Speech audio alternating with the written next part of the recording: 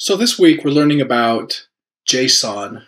It's pronounced JSON, and it's a library that, uh, ultimately, it's a very simple format for displaying what can be pretty complex data.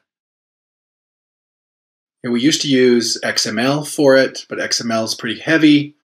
It takes a parser that's pretty, takes a lot of memory and JSON can be parsed directly in JavaScript on a browser. So there's a lot of great things about it. So I've created a project in IntelliJ here called Basic JSON, and we're going to create a program uh, from this. Now the first thing that we needed to do was we've got to make sure that we um, have the libraries in um, IntelliJ. And you can do this a couple of ways. One you can do using uh, POM files, and the other is that you can do it by just directly coming in to this um, project structure, which is under File, and adding the three. I'm going to be using Jackson as our parser here. These three libraries or jar files. So I created a class a package and then a class under it called JSON example. And we're going to need to import those libraries. So it'll be com.fasterxml.jackson.databind.objectmapper. And then to get the exception handling, we go to faster XML, Jackson, core, and then we're going to be using this JSON process exception. So these are the two that we'll use. So basically what we're going to do is, is create two static methods. One, we'll take a JSON file in and we'll return an object. And the other one will take an object in and retain, return a JSON file. So I created a customer class here, which just has a name and a phone number, and it has getters and setters. And then I created a toString method that just returns in a nice format a string with the two variables. Pretty simple stuff. So we'll use those as we go. So the first first um, uh, method that I'm going to create is the, the customer object to JSON method. That will give us some JSON to work with. I'm using these as static because they don't really include any of their own state except just temporarily and then they and then they return it back. So we'll call this one customer to JSON. It's going to take our customer. And then it's going to return a string down here at the end. So the first thing we use within uh, Jackson is called the object mapper. So we'll instantiate that the object mapper, I'm going to call it mapper. That's pretty common when we're using this. Um, we'll just use the standard constructor here. I'm going to put a instantiate or declare a string. We'll call it S. Oops. Not sure where all that came from. And then in here, we're going to have uh, a method that's going to return a string. The string will actually be JSON as a string. We'll use the mapper object, and it has its it has a variety of different um, methods that we can use. The one that we're looking at is actually this write value is string, and this is where we pass customer. Um, so you pass our method customer to JSON, a customer, And then we take that customer and we pass it to this write value to string method in the mapper, and it's going to convert that customer into a JSON string that ultimately will return right here. But there is something else we've got to take care of here, and that's we've got to handle an exception. So we will go try, and it's also, by the way, why I um, declared string up here rather than declaring it here, is so that it's not inside of the scope of the try.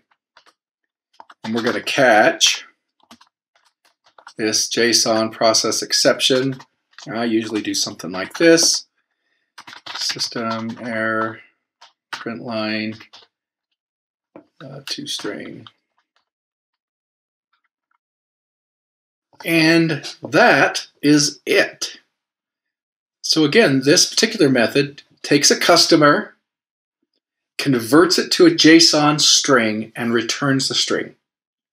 All right, let's do the same thing. Uh, this time, the opposite.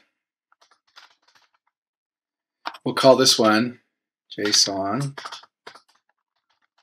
to customer and it'll return a string. And so we do, do the same thing. We need to instantiate the object mapper.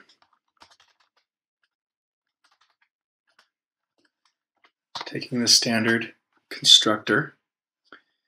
The next thing that we need to do is we're going to actually customer. Let's call this cust uh, customer Set it as null. Down here, we're actually going to return the customer. But in the middle, we need to do something that's very similar. In this case, customer equals mapper, and we're going to use this read value. There's a whole bunch of them if you look here.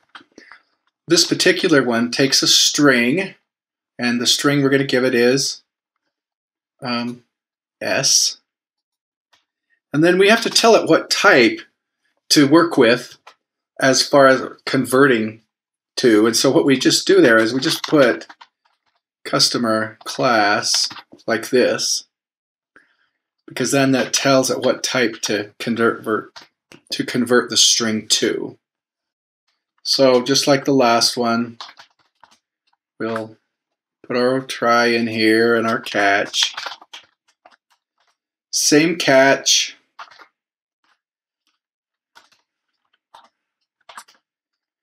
Same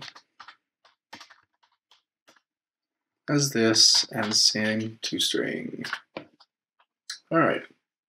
So we've got these two static methods. One converts from customer to JSON, one converts from JSON to customer. Now let's write a little main, a little tester to test this out. So we'll, start with the top one. Let's start by um,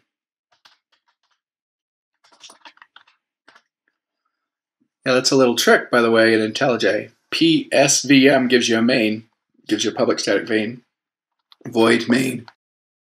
Okay, we're going to start with a customer, create it new we could have created a we could have defined a um, specific constructor for our customer, but we didn't. I'm keeping it as simple here. We're going to set the name.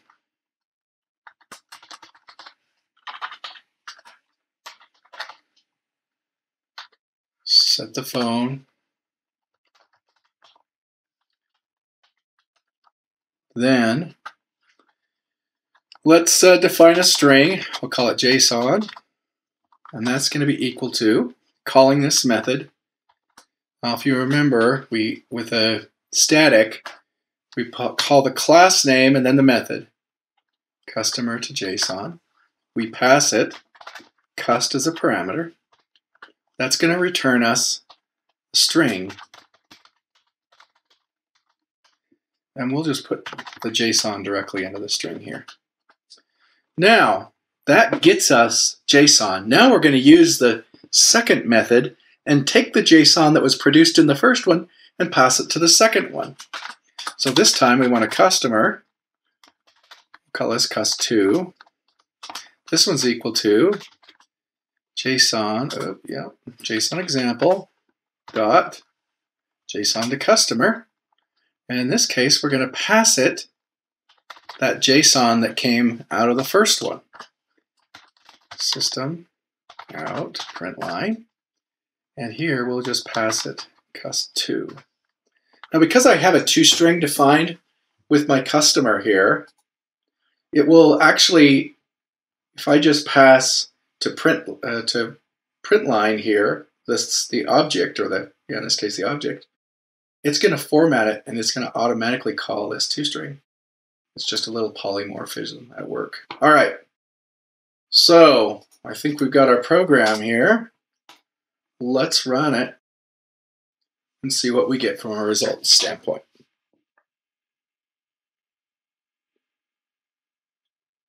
Okay, so this line is what our JSON looks like that we converted. Remember we set cust customer with these parameters.